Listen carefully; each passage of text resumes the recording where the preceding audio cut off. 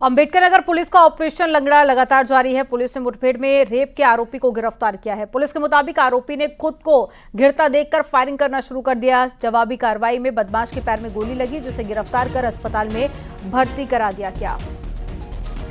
तो आपको बता दें कि आरोपी सादाब ने दूसरे समुदाय की लड़की से बलात्कार की वारदात को अंजाम दिया था। पीड़ित लड़की को गंभीर हालत में लखनऊ रेफर किया गया।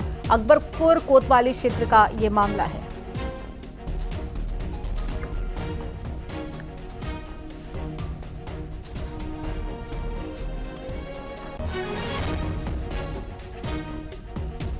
तो अंबेडकर नगर का मामला है, जहाँ पर बलात्कार के आरोपी के साथ में पुलिस की मुठभेड़ हुई। खुद को घिरता देखकर बदमाश ने फायरिंग करना शुरू कर दिया। जवाबी फायरिंग में बदमाश के पैर में गोली लग गई, जिसके बाद में उसे गिरफ़्तार करके अस्पताल पहुँचाया गया।